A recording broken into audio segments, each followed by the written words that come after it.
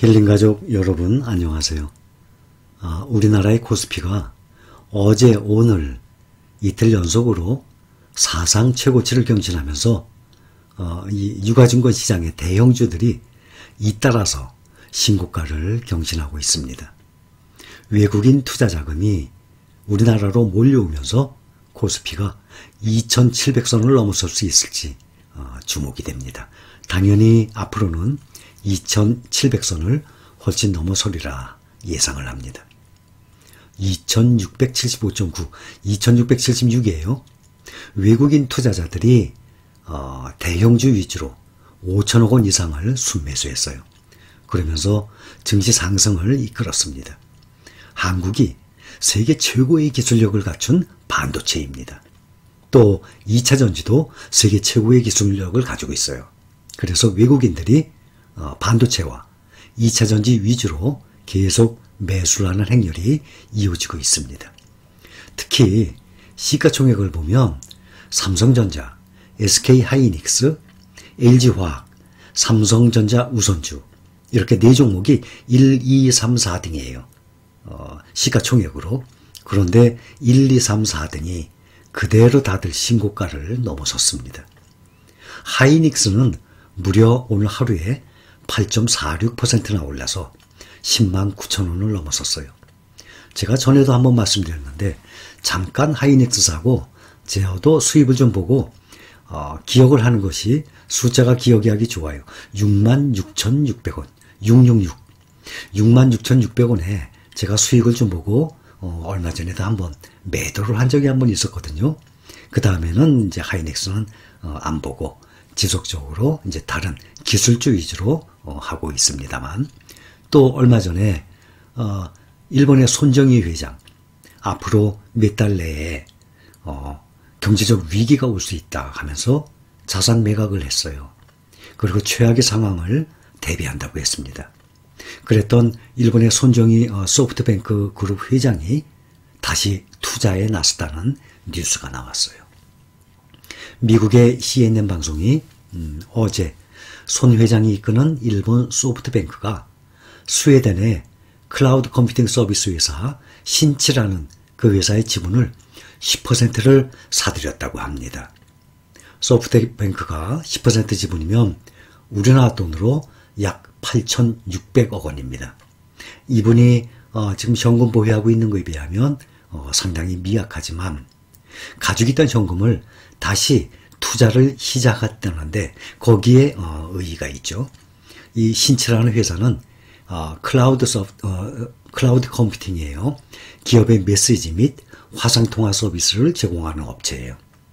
올해만 해도 이 신치라는 회사가 거의 300% 오를 정도로 유럽 증시에서 큰 주목을 받고 있다고 합니다. 어, 소프트뱅크가 올해 이미 950억 달러, 약 100조 이상의 자산을 매각해서 대규모 현금을 확보하고 있다고 나왔는데 이제 다시 투자 태세로 돌아섰다고 평가를 합니다. 그런데 다시 투자를 시작을 한 것인지 알 수는 없죠. 약 1조 가까이 투자를 시작을 했습니다. 어, 물론 백신이 계속 나오고 있지만 어, 손 회장 얘기로는 그걸 누가 알겠느냐. 이런 상황에서는 무슨 일이든 벌일 수 있다. 이렇게 말했던 분입니다. 그런데 8,600억 정도의 새로운 투자를 했다는 뉴스가 나왔어요. 제가 여러분들께 꼭 당부를 시킨, 어, 어, 당부를 하고 어, 싶은 말씀은 주가는 무조건 오르는 것이 아닙니다. 현재 우리 힐링 가족분들 어, 수익 많이들 보고 계시죠? 아마 손해 보신 분들 거의 없을 거예요.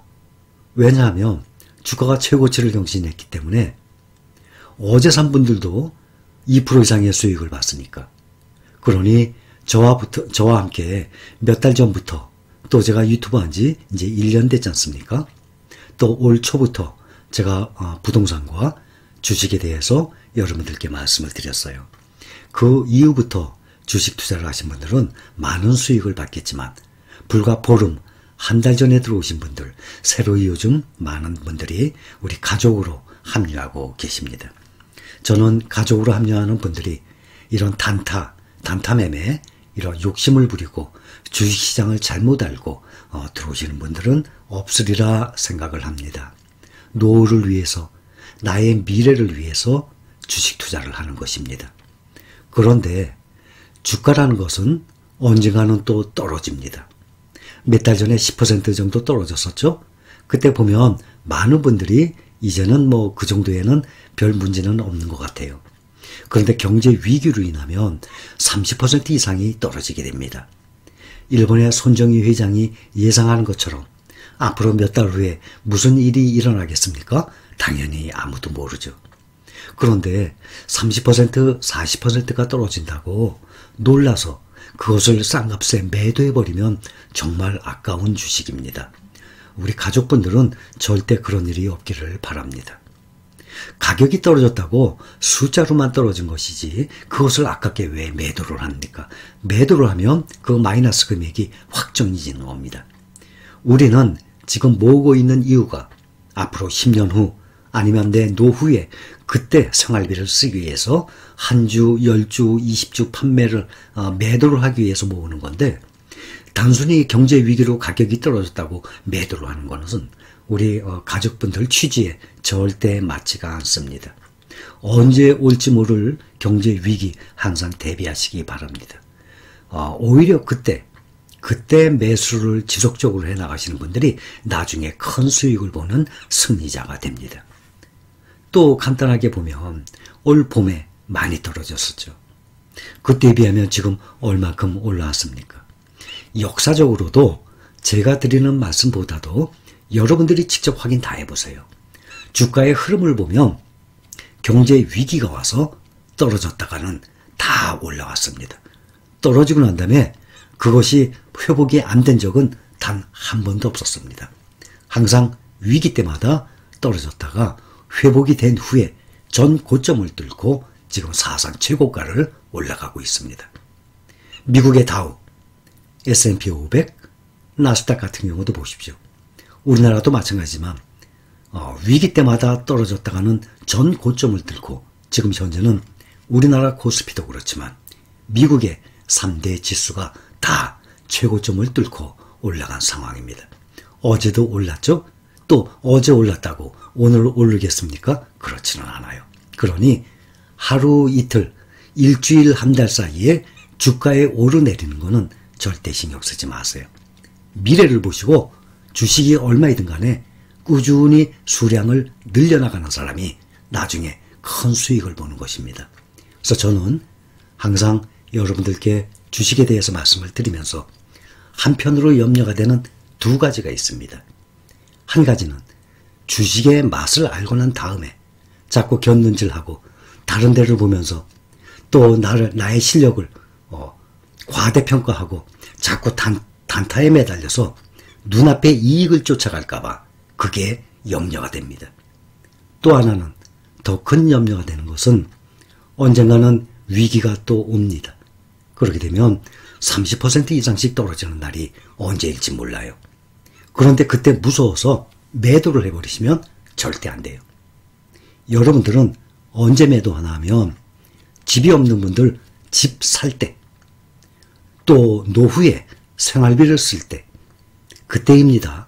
또 살아나가다 보면 자녀 결혼을 한다든지, 크게 목돈이 필요하다든지, 그때 외에는 매도를 안 한다는 마음가짐으로 주식을 모아나가시기 바랍니다. 경제적 위기가 와서 떨어지죠? 그때는 더 싸게 살 수 있는 기회예요. 절대 그동안 내가 가지고 있던 어, 주가들이 떨어져서 숫자로서는 마이너스가 나더라도 아니에요. 안 팔면은 내가 마이너스가 아닙니다. 그래서 매달 어, 주식을 매수하듯이 떨어지면 많이 떨어질수록 나중에 그것이 큰 수익이 되돌아온다는 것을 꼭 명심하시기 바랍니다.